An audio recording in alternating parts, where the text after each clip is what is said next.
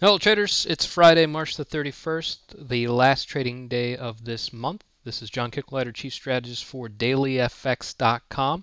Here to give you your market wrap up for this past 24 hours of trade, and of course, the outlook for the final trading session of this week and month. Uh, looking at some of the more active areas of the market, we are once again seeing a shift away from the more potent themes. Uh, most potent, of course, is going to be risk trends, always going to be the case. That was settling with the U.S. equity in indexes rising, uh, the European equity indexes, the DAX and the FTSE, uh, holding steady or advancing, and volatility measures uh, sunk after their very early hope of a little bit more activity through the start of the trading week. Of course, uh, there's always the possibility and increasing likelihood that something does uh, explode in the markets. Uh, there is plenty of fodder to achieve such a thing, and of course, the conditions uh, that are behind these markets are more than capable of leveraging uh, problems, including the excessive use of leverage, which isn't just necessarily a notional factor like we as FX traders uh, know it, but also the leverage of exposure uh, in riskier and riskier assets, as well as the leverage that we put behind value that strays further from fundamental value. So there is a lot of exposure, there's a lot of potential, but it doesn't necessarily mean that it has to happen. We can sit in a uh, and a, a, pool of gasoline for a very long time without it being a problem is when something strikes the proper match and it uh, ignites then when we're really faced with some problems. So being cautious is certainly warranted, but being proactive and trading against risk is probably not very advisable. Uh, nor is trading with a risk on view. It's worthy of note that uh, we've certainly had a string of, uh, of impressive uh, indicators this past uh, week, although not all it consistent. We have highlights like the Consumer Confidence Report on Tuesday, which was an extraordinary increase for the world's largest economy. That is encouraging. The loose suggestion, uh, not this past session, but the, the session before, uh, by a, I believe is the Transportation Secretary of the United States, that uh, the Trump administration would uh, release or announce the uh, long-awaited $1 trillion infrastructure uh, spending bill uh, sometime later this year. Uh, something like that uh, also is encouraging because that's one of the things that has really contributed the most to the performance of the market since the outcome of the November elections. But we can't hear a lot of the same thing, uh, just an open-ended option or promise without details, timing, and scalability. We're already buoyant uh, on our expectations, and we need the markets to uh, the markets need a foothold, something to really grab onto to say that yes, this is the value, and yes, I need to further project uh, strength in the markets from where they're already at. We don't necessarily have that. Will we necessarily have that in the upcoming session? Uh, it could be a struggle. There is a lot of event risk on this docket, uh, but not a lot of it uh, uh circles back to risk trends, whether on a positive side or a negative side. With a sufficient surprise, some of these can actually achieve such a thing, but I wouldn't put any of them up at the task of readily doing it. Of course, it can always come off docket. Uh, there can be something that is extraordinary that we didn't uh, account for that comes across the wires and spurs a sentiment-based move, uh, but uh, it, it, certainly is a lot to expect uh, uh, going into any kind of individual trade. So while we might have some noteworthy technical patterns, I think this week's uh, developments in price are certainly good examples of why we should be a little bit more guarded about uh, just throwing in with a technical move without fundamental backing, like the S&P 500 here, the Spider ETFs break uh, earlier this week, obviously gapping down on Monday. That didn't really lead to any kind of convincing trade or conviction to the downside. Same is true of the dollar yen, another risk oriented currency pair, which is right back up to that 112 former support, loose support. Uh, now treating it tentatively as new resistance, but that doesn't make it any better as a trade because we still require conviction, whether it's a break back above 112 and finding follow through, or using that uh, overhead as a springboard for a, a more aggressive move to the downside. This is for all conditions that are oriented towards risk trends. keep an eye on the benchmarks, the S&P 500 uh, of the world, the yen crosses of the world, the volatility metrics of the world. Uh, but there are some remarkable performers that uh, perhaps there's something uh, that can be garnered from them. Uh, Dollar ZAR, which has been extraordinarily active this week and uh, remarkably active this past session and into the early trade hours of Friday. We had a lot of intraday price action on Thursday, and that was, uh, uh, well, we had event risk. It was the South Africa rate decision in which they did uh, change rates, or didn't change rates, sorry. Uh, their objectives or their forecasts uh, certainly uh, were questionable. But the real catalyst for the rand was not monetary policy at all. It was political. Shakeup in the cabinet and the ouster of the finance minister in South Africa clearly had a detrimental impact on the South African rand. Uh, significant rally, as you can see here. Uh, we are now working on the fifth day higher. This also has rendered another extraordinarily uh, extraordinary long-term big picture technical pattern, a wedge after a big bull trend that could have been a significant break if it had more risk conviction behind it. It could have been something more substantial, but as it happens, it's not. Now, it's worthwhile to look at this performance versus a baseline for emerging markets. This is an emerging market currency. This is South African Rand. The US dollar against this is going to be a safe haven. And as you can see, this is the emerging market ETF flipped upside down. So this drop from this particular currency certainly does skew far from this benchmark. Now, run uh, based upon the unique fundamental fingerprint of what's going on in South Africa is certainly possible, uh, but uh, gaps like that seem to be hard to maintain given the consistency of the correlation. Another one that was particularly active, uh, the dollar peso.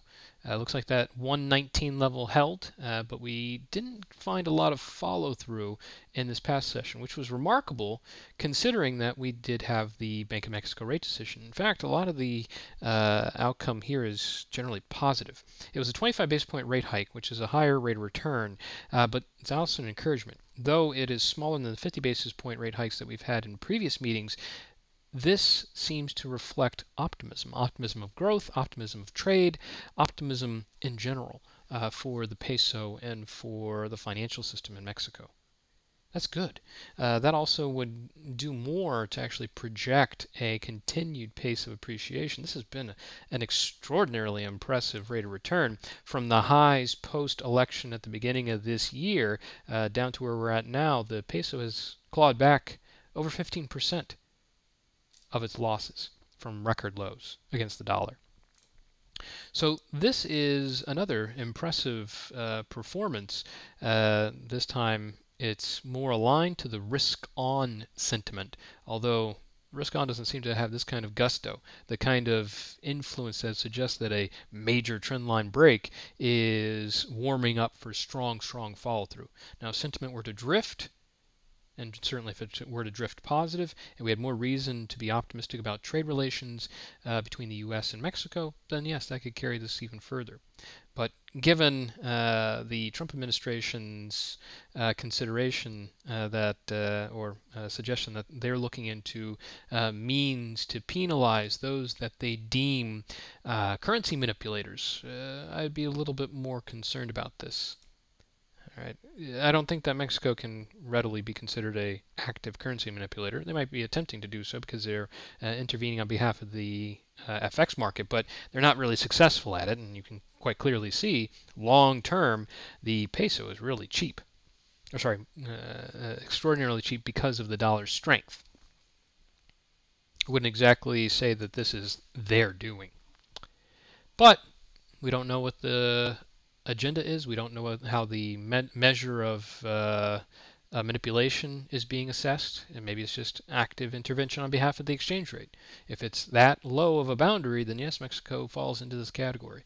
More likely, it would be tailored towards countries like China, uh, where they are a more active uh, reference for manipulation. But I'd be a little bit more cautious here. Now, another consideration, although this too doesn't have much in the way of uh, certainty on what's coming in terms of policy change, uh, just loosely saying that uh, they're looking at ways to crack down on manipulation or penalize it. Uh, if they think that other countries' currencies are too cheap and they are clearly uh, looking to uh, bolster those currencies versus their own currency, that means they're trying to weaken their own currency. Not through active intervention on their own, but through punishment punishing their counterparts. But their ultimate objective is to cheapen or lower the currency. Will they be uh, effective at it? It remains to be seen. Uh, it depends on what they do and how committed they are, uh, and what the retaliation of such uh, changes would render from other countries. Uh, there are a lot of moving parts here, but the threat should be well taken. And we should be very uh, mindful of what the dollar's movements are. Speaking of the dollar, the dollar's three day rally has been quite impressive. I mean, this is a three day rally against uh, some positive economic data as we've seen, uh, but compared to what we had, let's say on March the 15th, where there was a rate hike from the Fed. That that seems like a traditional fundamental lever that would give more performance, but uh, clearly it did not. We are really outperforming here and now. And this is really well known or really well established in the Euro USD. In fact, when we look at the Euro USD uh, for a three day uh, assessment of performance, that three day tumble is the biggest that we've seen this year and the biggest that we've seen since December the 15th. That is a very impressive move and very frustrating for many technical oriented traders that were trying to get an inverse head and shoulders break. Clearly, it is not a good market for finding the conviction necessary to complete major patterns like this. That was extraordinarily extraordinary impressive gap on Monday to the upside to break the neckline. It was also equally extraordinary that we collapsed after uh, uh, winning that uh, move. Now I'm going to watch the Euro USD very closely. This past session, uh, the U.S. docket had uh, its fair share of Fed speakers, generally hawkish, although Kaplan was interesting because his uh, remarks on monetary policy had a more uh, cautionary tone. I'm watching out for cautionary tones because that is not conducive to growth and uh, positive monetary policy performance, meaning higher rates are one thing, but the kind of backdrop that would encourage the markets to chase those high, higher yields, thereby the dollar, is another. All right. So, uh, but none of this really had the depth necessary to motivate rate expectations in favor of the U.S. dollar. This is not a big contributor uh, to the dollar's current rally. Uh, what we have in the upcoming session, however, can be, and that's the PCE deflator. Personal income and spending is very important, certainly, uh, but it's the Fed's favorite inflation figure that really is going to stand out on the dollar side. For the euro, this past session we had uh, actually a member, ECB uh, member Knot, who suggested that uh, stimulus should start being wound down.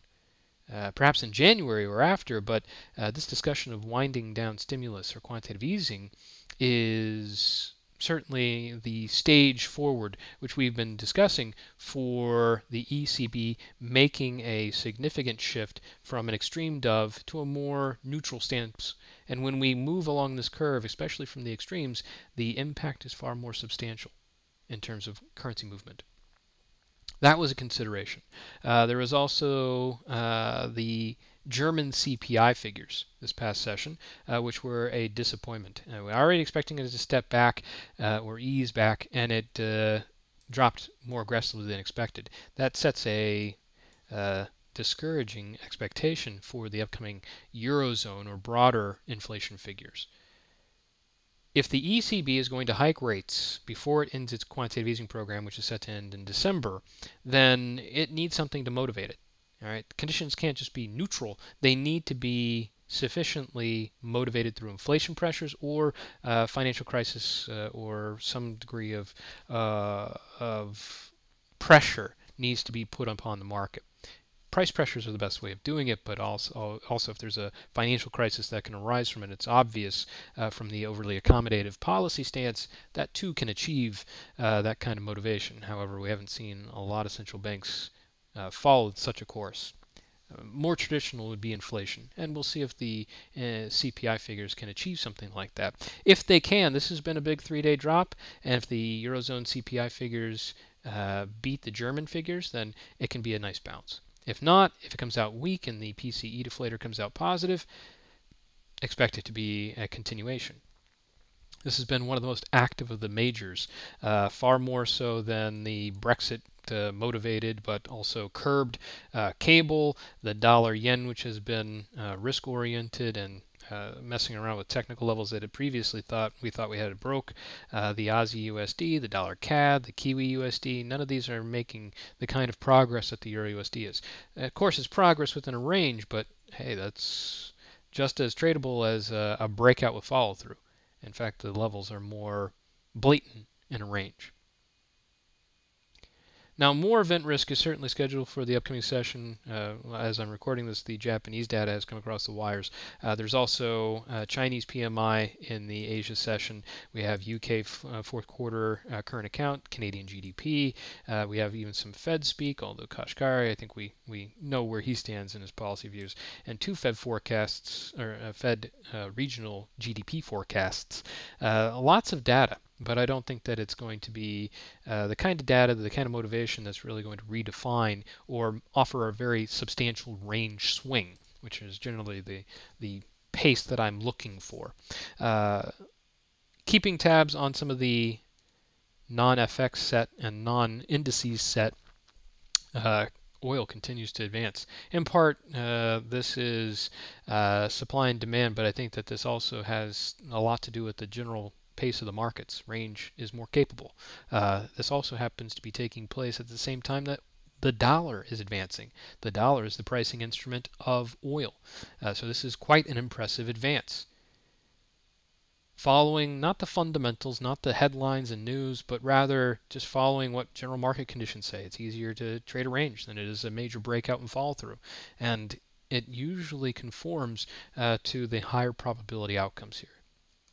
Another one that hasn't made a big break but is starting to slowly turn, gold. Uh, also an, uh, an anti-dollar performance.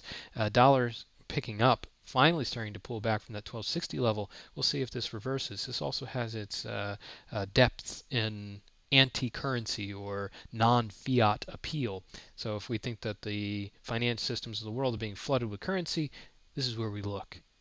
Always keeping a close eye on this just to, to get a better sense of the broader market performance. All right. So keep an eye on the docket over the next 24 hours. The top potential uh, lands with the Euro USD purely from a data perspective, uh, but be mindful of where volatility can just pop up out of cracks and crevices. Uh, these are markets that look like they're extraordinarily quiet when we look at something like the VIX, uh, but we know that they can't stay quiet forever. We'll wrap it up here. We'll do our final rundown of these markets uh, tomorrow. Until then, I wish you good luck trading out there.